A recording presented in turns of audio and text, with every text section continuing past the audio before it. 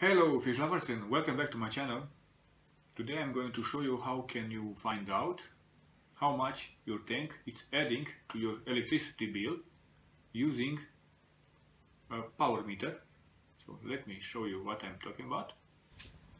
You can see here that my main plug from my aquarium is inserted into this power meter that you have to put into the socket first and after that you put your uh, power consumer here.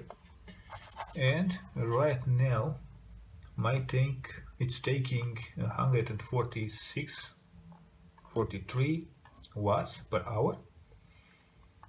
And since I have plugged it in my tank in this power meter about six hours ago it has taken 0.57 kilowatts per hour and I'm going to keep this on until the timer here will reach 24 hours. So that's uh, one day and I'm going to write down the number that I'm going to see here in kilowatts hour. And if you know the price for kilowatt hour in your country or uh, area you can then uh, calculate and see how much you pay for electricity using your aquarium. This power meter that you plug in, uh, plug in here, it's a pretty cheap one. Bought it from a store. You can find it find it uh, in any any store that sells hardware.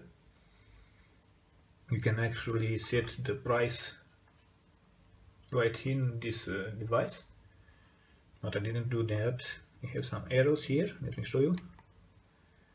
This is the total price in euro for the electricity I have consumed with my tank. But like I said I didn't use I didn't set up this uh, price.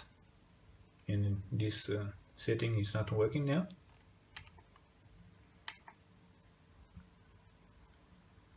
And from this arrow we can change this value here. So this you can see the maximum that my tank has consumed today 324 watts. So I know that my heater takes 300 uh, watts. And my my filter takes 20 watts. And my lighting system takes uh, 120 watts. So you can add that up. Overload it's no overload which is good. This is my main power my main uh, voltage 232 volts. And this is amps. Amps is the same with watts. I like watts better.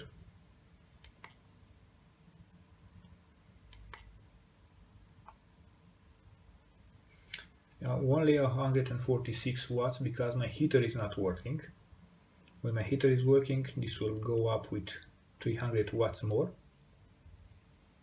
And tomorrow like I said when this timer reaches 24 hours I will write down this number kilowatts hour.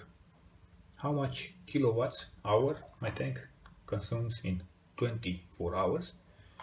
And after that I will add the number by 30 days and see exactly how much power how much uh, of an electricity bill I pay only for my tank.